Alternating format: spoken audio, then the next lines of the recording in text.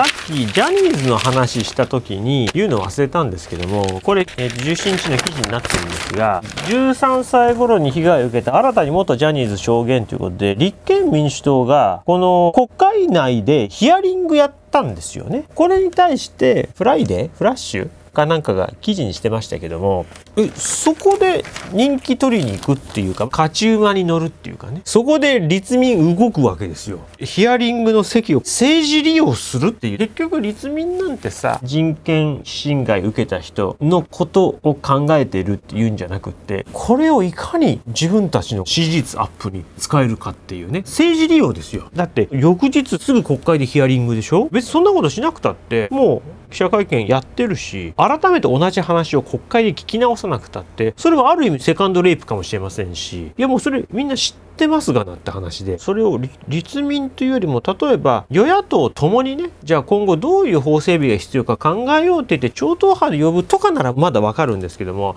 まだやってない。よしうちらが先にやるぞみたいな感じ。そうなるともう完全に政治利用なんですよね。これは彼ら元ジュニアにとっても良いことではないんですよ。だって彼らはこの政治的なことわかんないからまあ呼ばれたらまあ行くでしょうよ。でも別にこれは与党も野党もないんですよ。自民もクソも何もないんですけどもこの子たち立民に担がれた子っっていうレッテルがもう貼られちゃったわけですよ。でも彼らはよく分かってないですよ。使い捨てですね。本当にその人のことを考えるんだったら、もうしおれたね、立民のレッテルなんかない方がいいに決まってるんですよ。だったら自民と与野党共同でね、ヒアリングやりましょうって言うんだったら分かるんですけども、立民に担がれた子になっちゃってるんですよ。だから、籠池さんみたいなもんですよね。特定の左翼に担がれちゃってるわけですよね。だからもう完全に政治的色ついちゃったんですよ。彼らにとってはマイナスですよ。本当に彼らにとってプラスにするんだったら与野党超党派でやるべきでしたよね。いや今うちらがやったらこういうのに寄り添う立憲民主党で評価上がるかもっていうね。それ自分のためじゃんって話で本当に被害受けた人に寄り添うような態度ではないですよね。断ればよかったんですよ。でも彼らわかんないですよそんなの。元ジュニア歌ったり踊ったりしてた子たちが急に自民がどうの立民がどうのと国会でのヒアリングがどうのって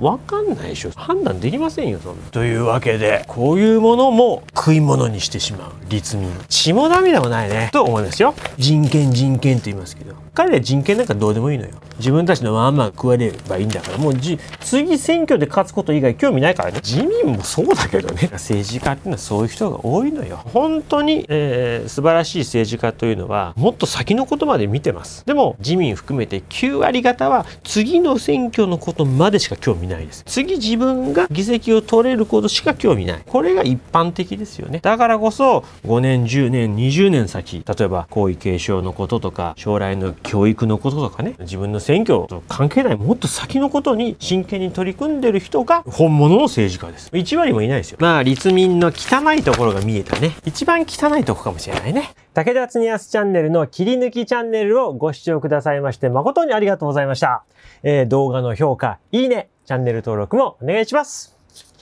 え本家武田恒康チャンネルでは毎週木曜日夜8時、え日々の新聞から話題のニュースを取り上げ、わかりやすく解説する番組をライブにて配信しています。よろしければ生放送も見に来てくださいね。